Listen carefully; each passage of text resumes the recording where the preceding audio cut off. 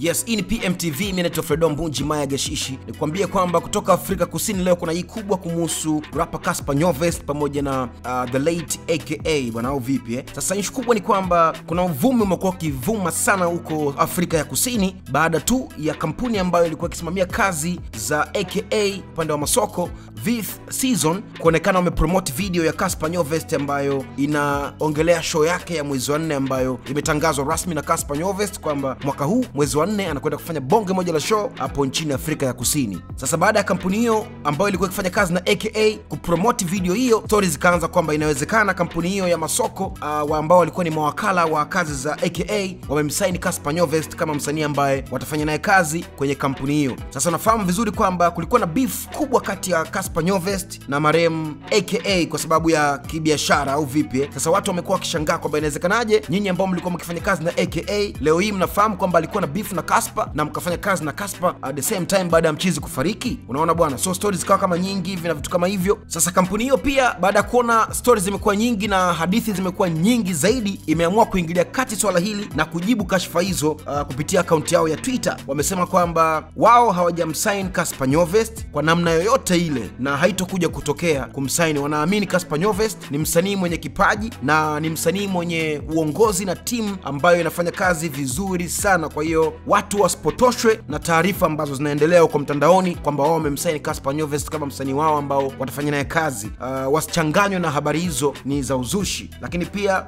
baada ya kupost kwenye akaunti yao ya Twitter habari hiyo, meneja wa Casper Nyovest akaja pia na kuwashukuru kwa kutoa ufafanuzi wa taarifa hizi ambazo ni za uzushi na kuwapa pole pia kwamba poleni sana katika kipindi hiki kigumu ambacho bado najua mnaomboleza kifo cha mpendwa wenu rapa aka. Kwa hiyo taarifa hizi pia zisiwa disturb sana, ni tunashukuru na nyinyi kutoa ufafanuzi kwa watu wameweza kuelewa kitu ambacho kinaendelea. Kama wewe ulikuwa ni mmoja ya watu wanaoamini kwamba kampuni ile iliyokuwa ikifanya kazi na rapa aka ime saini mkataba na Kaspa Nyovest ili kuweza kusambaza kazi zake, basi taarifa imekuwa ya uongo na imekanushwa rasmi na kampuni hiyo ya marketing ambayo ilikuwa ikifanya kazi na marehemu aka. Bwana, hizi mambo zinatokea zinatokea sana sana sana, ni kama tu kibongobongo, unapohisi au unaposikia msanii fulani na bifu na fulani, then ukaambiwa kwamba meneja wa upande wa pili amehamia upande wa pili huku. Ni kama unaweza kutoa siri za huku kupeleka kule, ama ni kama mtu ambaye umesnitch kambi hii kwenda kambi nyingine. Hivi ndivyo ambavyo tunafanya hapa PMTV siku zote. Endelea kusubscribe channel yetu ya YouTube ili kuweza kupata madini ya kiburudani, michezo pia kupitia hapa hapa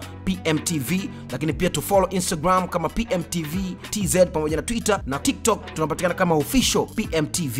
Mimi naitwa Fredo Mbunji.